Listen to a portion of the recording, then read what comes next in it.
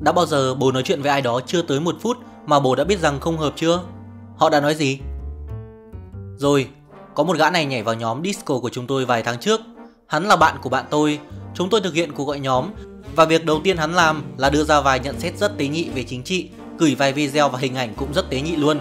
Không ngờ tôi sẽ gặp một người mà có thể xúc phạm 6 người khác trong vòng 10 phút. Bố không dọa được tôi đâu. Không hề cố ý hù dọa ông dù chỉ một chút luôn. Nếu hắn nói vậy với bố trong lần đầu gặp, khả năng là bồ đã làm hắn sợ rồi. Ha ha, hắn đã nghe lén gì đó 100%.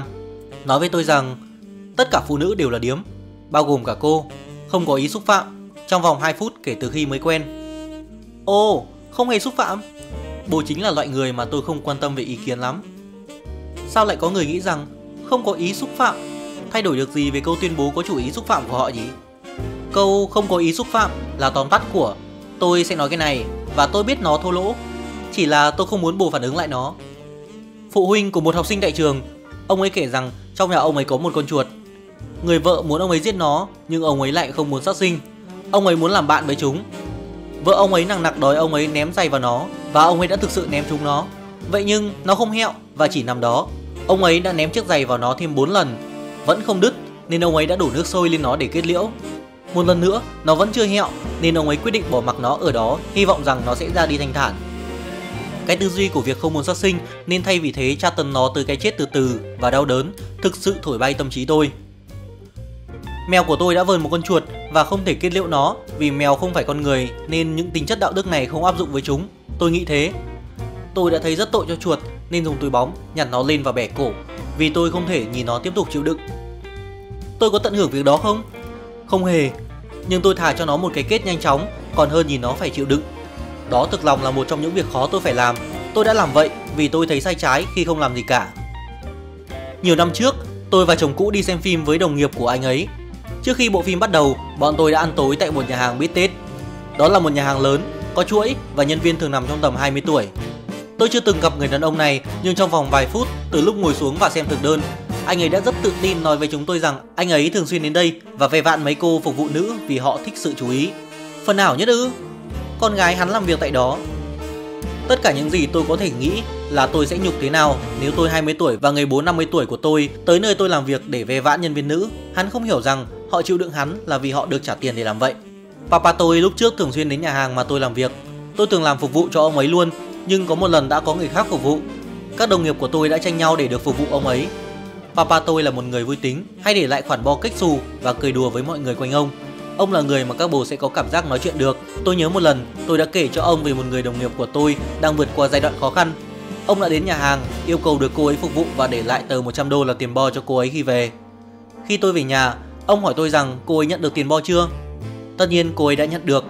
Cô ấy đã khuỵu xuống khi ôm tôi và nói rằng ông là người tuyệt vời nhất mà cô ấy từng gặp. Cô ấy không hề sai. Ông ấy thực sự là một người ngọt ngào. Có ba cấp độ khác nhau khi làm một thầy đồng. Tôi đang ở cấp màu tím nên tôi có thể nói chuyện với người âm. Nói bởi một người nhân viên mới làm tại chỗ cũ của tôi. Điếu. À thì ai cũng có thể nói chuyện với người âm mà. Họ là những người lắng nghe giỏi và hiếm khi ngắt lời hay phán xét bồ.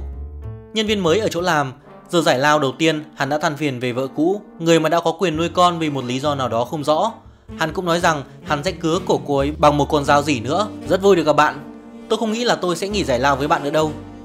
Khá là tốt vì hắn đã giải thích được vì sao vợ hắn ly hôn và vì sao hắn không được nuôi con đó. Họ nói chuyện tiêu cực về một ai đó theo kiểu rất phán xét. Có một bà mẹ này tại trường của con gái tôi luôn tỏ vẻ quen biết hết tất cả mọi người. Bà ấy nói chuyện với tôi và đã nói xấu vài người phụ huynh khác. Lúc sau, tôi lại thấy bà ấy tương tác với họ theo cách rất thân thiện. Những người mà bà ấy vừa phán xét. Tôi đảo mắt nhiều đến mức có thể nhìn thấy não của tôi bảo rằng đừng dính líu đến à. Và tôi đã đúng. Cuối năm học, mọi người đều ghét bà ấy và cũng nói xấu bà ấy luôn. Một cô gái từng là bạn thân của tôi cũng vậy Khá là lạ khi nghe cô ấy ca thán về người khác. Và rồi hôm sau lại thấy cô ấy đăng ảnh lên Instagram với họ. Tôi đã không để ý điều này đến khi mối quan hệ của bọn tôi đang bên bờ vực. Tôi đã hỏi mọi người rằng cô ấy có làm vậy với họ không? Câu trả lời là có. Cô gái này đã tới buổi họp mặt nhỏ nhỏ của chúng tôi. Người mời cô ấy nói rằng họ sẽ mở cá cược xem ai có thể ngồi trò chuyện với cô ấy hơn 30 phút 10 đô mỗi người. Người chiến thắng ăn tất cả. Tôi đã nghĩ rằng họ chỉ đang đùa cợt và định kể với bạn cô ấy ngay khi cô ấy tới. Cô ấy bước vào, nhìn tôi, chế giễu và hỏi rằng chiếc xe màu xám bên ngoài có phải của tôi không. Tôi bảo đúng và cô ấy nói với số tiền tôi chi trả cho chiếc xe tôi đã có thể mua thứ gì đó đẹp hơn. Ok, cái điếu thì cũng được. Tôi đi lấy đồ uống và ngồi xuống xem đám đông vây quanh cô ấy. Tôi đã không thích cô ấy. Cô ấy tiếp tục nói với mọi người rằng cô ấy sẽ không bao giờ hẹn hò với ai có điểm tín dụng cùi bắp hoặc không thể chi trả cho xe sau khi mua nó. Đã có người muốn bỏ cá cược sau khi xin một điếu thuốc. Cô ấy mở ví, khoe với mọi người một bao thuốc mới chưa bóc và nói với mọi người rằng tại sao cô ấy không hút thuốc và tại sao khi có ai đó xin thuốc là họ quá nghèo hoặc họ không biết lên kế hoạch cho tương lai, gã mà xin cô ấy thuốc. Cô ấy từ chối và cất bao thuốc đi. Cô ấy nói về những chiếc xe mà cô ấy mua, cơ bản là bố mẹ cô ấy sẽ ký hợp đồng và đứng ra thanh toán tiền xe để nâng điểm tín dụng cho cô ấy. Cô ấy sẽ gửi lại họ vài nghìn đô. Cô ấy khá điên và không mừng nói Tôi không thích cô ấy nhưng lại bị thú vị bởi cô ấy. Cô ấy siêu kỳ cục. Lúc đầu có khoảng 15 tới 20 người và đa số đều tham gia vụ cá. Không nhầm thì giải thưởng khoảng 100 đến 120 đô. Người chiến thắng là một ai đó tôi không biết. Anh ấy đã dùng giải thưởng để mua McDonald và bia cho mọi người, anh ấy khá ổn. Nếu cô ấy không hút thuốc, tại sao lại có bao thuốc trong ví? Chắc chắn không phải để cho ai đó vì đã có người xin và ả từ chối.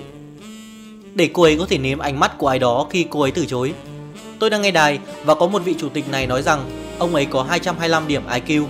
Nếu tôi đi vào phòng mà nghe thấy ai nói câu đó thì tôi sẽ ngay lập tức đi ra. Haha, tôi từng làm dẫn tour tại Universal Studio Hollywood và được đào tạo bởi một cô gái 26 tuổi. Cô ấy thường xuyên nhắc về việc cô ấy có 140 điểm IQ. Xin chúc mừng, Alana. Sau 10 năm, tôi vẫn đi dẫn tour. Nhìn bên phải, quý vị sẽ thấy công viên Thế giới khủng long dựa trên bộ phim gốc mà đã kiếm về 140 triệu đô trong tháng đầu tiên ra rạp. Nhân tiện nhắc đến 140 thì tôi... IQ giống như kích thước của Q vậy. Nếu bố cảm thấy luôn phải nhắc đến nó thì nhiều khả năng là nó không ấn tượng như bố nghĩ đâu. Cậu nhóc ít nói ở trường ngồi cạnh tôi nói rằng khi đi cậu ấy bị cứng và đã bao nhiêu lần cậu ấy xuất như vậy. Tôi không bao giờ ngồi cạnh nữa. Một số người sẽ bảo tôi là gã khốn, nhưng tôi nói như tôi là như vậy. 99% khả năng họ sẽ là tên khốn mà tôi không muốn ở gần. Tôi bắt đầu học bằng tiến sĩ vài tháng trước. Một trong những câu hỏi để bắt chuyện giữa các sinh viên là luận án của bồ là về gì thế? Họ đã hỏi tôi câu đó trước và sau khi tôi giải thích về luận văn của tôi thì gấu gã nói "Ô, tôi hiểu rồi, của tôi thì về việc thực sự quan trọng. Với một giọng điệu rất khinh thường, ừ thì đều mơ ông luôn. Đó là một vị khách ở chỗ làm. Tôi làm việc tại cửa hàng thú nuôi. Tôi tới chỗ cô ấy để xem cô ấy có câu hỏi gì về các loài vật ở cửa hàng không. Câu đầu tiên, cô hỏi là vẹt đuôi dài có nói được không? Vì cô ấy muốn dạy chúng những câu chửi miệt thị chủng tộc. Câu không lớn nhất của đời tôi. Tưởng tượng phải giải thích cho ai đó vì sao con chim của bạn lại phân biệt chủng tộc. Mà mới tại chỗ làm. Siêu giả tạo bằng cách tỏ vẻ hào hứng thay quá và quá thoải mái với mọi người ngay từ giây phút đầu tiên. Siêu ủy mị và thích sờ mó. Tất cả mọi người đều không thoải mái. Chúng tôi làm việc tại tổng đài chăm sóc khách hàng. Cuộc gọi đầu tiên trong ngày, hắn dập máy trong khi chửi thề vì coi việc bị dập máy trước rất cá nhân. Sau khoảng 6 tháng, tôi xin nghỉ 2 tuần vì tôi không thể làm việc cạnh hắn nữa. Vì hắn rất thích soi mói vào bàn tán. Sếp tôi đã từ chối đơn xin nghỉ và chuyển hắn đi chỗ khác. Sếp tôi cũng không chịu được hắn, không ai chịu được. Buổi họp phụ huynh tại trường mẫu giáo của con tôi có một bà mẹ này liên tục khoe khoang về việc con bà ấy hoàn toàn mù chữ. Bà ấy cũng rất ghê đọc. Là một giáo viên, tôi có thể biết ai là người phụ huynh mà tôi ít thích nhất ngay lần đầu gặp. Không phải là những phụ huynh quá thận trọng hay tự do, không phải là những phụ huynh theo đạo hoặc có tín ngưỡng. Đó chính là những phụ huynh nói với tôi rằng họ không biết đọc, ghét việc đọc. Một câu hỏi tôi hay dùng trong buổi họp phụ huynh là họ đã đọc gì thú vị trong kỳ nghỉ hè với con chưa? Có những phụ huynh kể về các bài viết, có người kể về các sách tự giúp, tâm linh, những phụ huynh đó đều ổn. Người phụ huynh mà nói tôi không thích đọc, luôn luôn, luôn luôn rất khó để làm việc cùng. Con họ không làm bài tập, họ coi thường hệ thống giáo dục. Họ đảo mắt trong cuộc họp khi tôi nói về sự quan trọng của giáo dục. Những học sinh coi thường việc học và những học sinh có bố mẹ nói rằng họ không thích đọc gần như là một nhóm giống nhau. Các học sinh lớn lên trong gia đình ghét văn chương là những học sinh rất khó để dạy dỗ. Bố tôi ghét đọc, nhưng khi tôi còn nhỏ, ông thường giả vờ tận hưởng nó để tạo ảnh hưởng tốt tới tôi. Ông ấy thậm chí còn mang sách theo và giả vờ đọc chúng. Tôi đã tưởng ông bị điên khi ông thừa nhận ông hầu như chưa từng đọc quyển sách nào. Thành thật mà nói, nó đã ảnh hưởng tốt đến tôi và tôi vẫn yêu việc đọc sách tới ngày nay. Khá là tuyệt vời khi ông ấy nhận thức được điều đó sẽ ảnh hưởng xấu tới con và đã có hành động để thay đổi nó. Tôi không thể tưởng tượng ra việc gì nhàm chán hơn nhìn chằm chằm vào cuốn sách bồ ghét và giả vờ tận hưởng việc đọc nó và kéo dài ảo tưởng đó trong nhiều năm. Quả là một người đàn ông. Gã hàng xóm mới sau khi giới thiệu bản thân tự chỉ tay vào ngực và nói biến thành gã khốn ngay lập tức, chỉ cần thêm bia. Đó là những gì gia đình nói. Không, mình sẽ chỉ là hàng xóm thôi bạn. Đờ mờ ông nữa, ông là gã khốn mà chưa cần đến bia luôn. Khi người ta tự nhận bản thân là tên khốn, hãy tin họ. Hỏi tôi, có phiền không nếu tôi hút thuốc rồi lấy ra một cái cong đá? Cái này buồn cười quá, nhưng mà không hợp cạ rồi. Tôi có một người bạn làm y như vậy trong khi chúng tôi trên đường cao tốc. Tôi hút thuốc ở đây được không? Ừ, tôi không phiền đâu. Lấy ra một cái còng đá từ trong túi. Cá là bồ sẽ hỏi, hút gì? Từ lúc đó, ha ha. Lúc đó, chúng tôi vừa chuyển vào nhà mới. Một quý ông lớn tuổi, ông ấy tầm 65 tuổi, còn tôi thì 35. Ông ấy đi qua đường tới chỗ tôi và bắt tay. Ông ấy nói, chúng tôi rất chào mừng hàng xóm mới, miễn là họ da trắng. Tôi nghĩ là tôi nên mừng vì đã vượt qua. Quả là một chuyến bay dài từ Mexico. Ui, làm tôi nhớ về lần bố mẹ tôi giao bán nhà vài năm trước. Hàng xóm đối diện bên đường mà hầu như chẳng bao giờ nói chuyện đã đi qua và nói rằng bà ấy rất buồn khi thấy chúng tôi chuyển đi. Mẹ tôi đã nói rằng đừng lo, bà ấy sẽ kiếm cho họ những người hàng xóm chất lượng khác. Lúc đó, Susan đã nói rằng chắc chắn sẽ chất lượng nếu bố mẹ tôi không bán nó cho người da đen.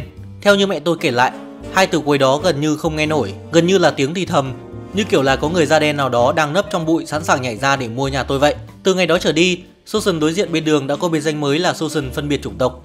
Mẹ tôi cũng nói rằng nếu có gia đình da đen nào muốn mua nhà và ra giá thấp hơn mức mong muốn một chút, mẹ tôi cũng sẽ đồng ý bán. Chỉ để làm Susan phân biệt chủng tộc cay. Cô đến muộn, tôi đã chờ 10 phút rồi. Tôi chỉ muộn cuộc hẹn 5 phút vì tôi phải tìm chỗ đỗ xe và tôi đã thông báo trước cho anh ấy. Tôi ngày đầu tiên đi làm trong giờ ăn trưa. Đồng nghiệp, bố là người Trung Quốc à? Tôi, ừ. Đồng nghiệp nói, tôi không ăn đồ tàu và bỏ đi. Vậy thì đừng ăn tôi. Vừa tối qua luôn, tôi đấu giải bia và tới chào hỏi đối thủ hiệp tới của tôi. Chúng tôi bắt tay, những gì anh ấy nói với tôi là Cái bắt tay yếu ớt bạn ạ. Tiếp tới là tôi hy vọng bố thích mấy câu đùa. Rồi tiếp tục nói đủ thứ tiêu cực về ván đấu của tôi. Phần tệ nhất là hắn chơi rất giỏi và hắn đúng là thằng lìn kiêu căng. Một số đối thủ khác của hắn còn bị tệ hơn tôi. Cao trào của bữa tối là khi người tổ chức hét vào mặt hắn. Tất cả mọi người trong phòng này đều ghét mày. Câu đó đã nhận được tràng pháo tay. Hắn có vẻ không hiểu tại sao lại như vậy cho lắm. Chỉ là câu đùa thôi bro. Hắn không quen ai ngoại trừ cặp đôi đã đưa hắn tới. Hắn đã thua trận chung kết, mọi người còn hò hét to hơn cả khi hắn bị gào vào mặt. Rất ghét khi người dùng câu đùa thôi để làm cái cớ cho việc hành xử như lìn. Gặp một người ở công viên thú cưng, hắn đã chia sẻ về công việc.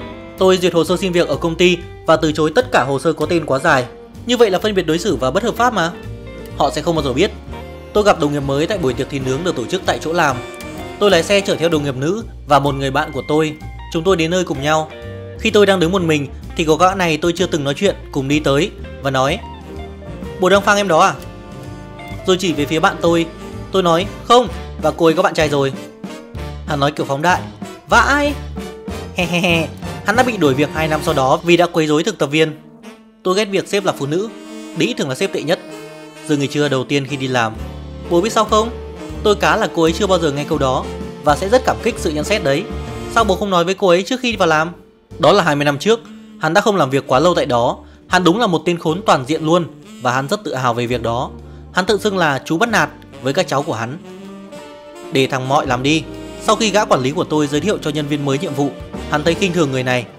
Tôi từng làm cửa hàng tạp hóa Và có một người quản lý da trắng từng nói với người thu ngân da đen rằng, Mày sẽ không bao giờ phải hái bông nếu tao bảo mày phải hái. Tôi tưởng rằng anh ấy sẽ hóa điên Nhưng anh ấy lại mặc kệ nó và tiếp tục ngày làm việc Tên quản lý nghỉ việc không lâu sau đó và phải đi cai nghiện vì rối loạn sử dụng bia rượu. Yêu thích nhất của tôi là cô gái này mà họ đã thuê.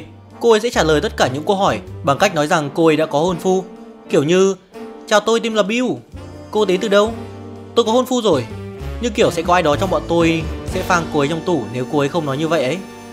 Cô ấy phải tự nhắc nhở bản thân mỗi 2 phút nếu không sẽ quên mất. Tôi biết một cô gái dùng câu tôi đã có bạn trai với tất cả mọi người. Cô ấy cũng là một người chuyên cắm sừng nữa Cô ấy đã say ở một bữa tiệc cho nhân viên và kể rằng đã phải nghỉ việc ở hai chỗ khác vì mấy gã ở chỗ làm đã bắt đầu cư xử kỳ quặc. Sau khi cô ấy đã ngủ với ba bốn gã, cô ấy đã bơ họ nhưng vẫn làm việc chung với họ. Cô ấy bị sa thải vì một lý do nào đó, nhưng cô ấy đã ngủ với Chris. Chris kể với chúng tôi rằng cô ấy đã dùng câu tôi đã có bạn trai để nhiều gã thấy hứng thú hơn. Hóa ra cô ấy đã kết hôn và chồng cô ấy đang được ra quân. Enzy quả là một tác phẩm.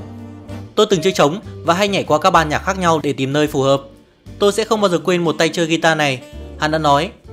Tôi không biết tại sao nhưng bim bim của phụ nữ da đen có mùi rất tệ. Câu nói đó cũng hoàn toàn bất ngờ vì chúng tôi đang nói chuyện về nhạc tại buổi tập. Tôi cũng rất xin lỗi khi phải nhắc lại câu đó. Tôi có hàng xóm mới chuyển tới, họ đã né mặt chúng tuần đầu cho tới khi gã đó đi tới chỗ vợ tôi lúc cô ấy làm vườn. Hắn nói, với tôi thì tất cả nằm ở tông giọng